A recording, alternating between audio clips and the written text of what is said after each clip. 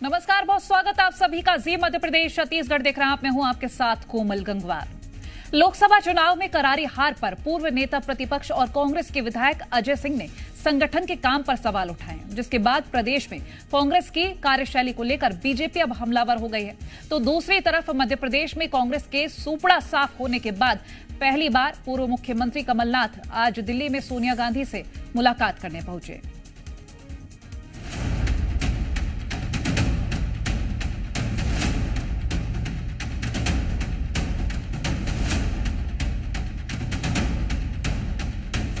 लोकसभा चुनाव में मध्य प्रदेश में इस बार कांग्रेस का सफाया हो गया है। छिंदवाड़ा समेत बीजेपी ने प्रदेश की सभी उनतीस सीटों पर जीत हासिल की है और अब हार के बाद कांग्रेस नेताओं में खुलकर रार सामने आ गई है।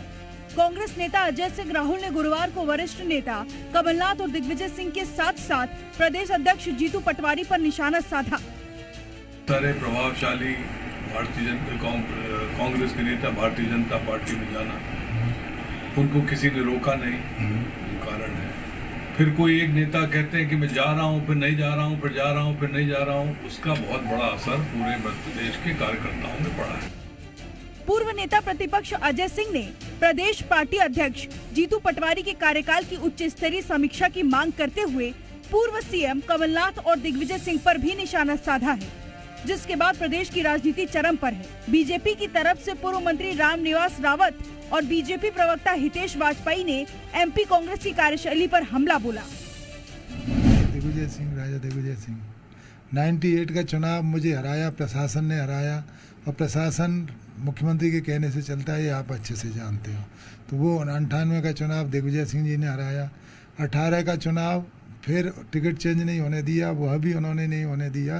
तो मैं दो चुनाव विधायक के हारा, केवल उन्हीं की कृपा से हारा। पार्टी गुटों में बट गई, गुटों के नेता बन गए और वही नेता, वही छत्रपधारी अपनी अपनी फ्रेंचाइजी बनाने लगे, न कि पार्टी चलाने लगे। देखिए, रामनिवास रावत जी, दिग्विजय सिंह जी के बारे में जो बोलते हैं, बिल्कुल ठीक बोलते हैं। क्योंकि दिग्विजय सिंह जो है, वो कूटनीतिक राजनेता है, वो किसी को निपटाते किसी को बनाते यही तो करते आए वो। तो हमारे लिए तो दिग्विजय सिंह जी अच्छे हैं, शतायु हो वो और उपलब्ध रहें। कांग्रेस के लिए वो कैसे हैं, वो आप लोग बहुत अच्छे जानते हैं। अब एक तरफ़ बीजेपी के साथ कांग्रेस के तमाम नेता एमपी कांग्रेस के शीर्ष नेतृत्व पर सवाल खड़े कर रहे हैं।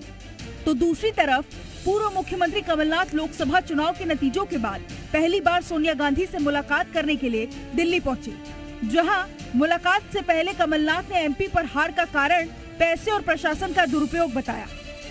The money power, the, all the administrative machinery, state machinery which was used, they were naked about it.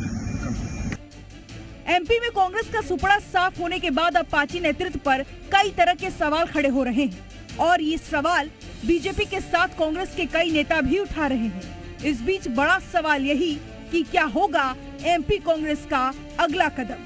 Bureau report Zee media.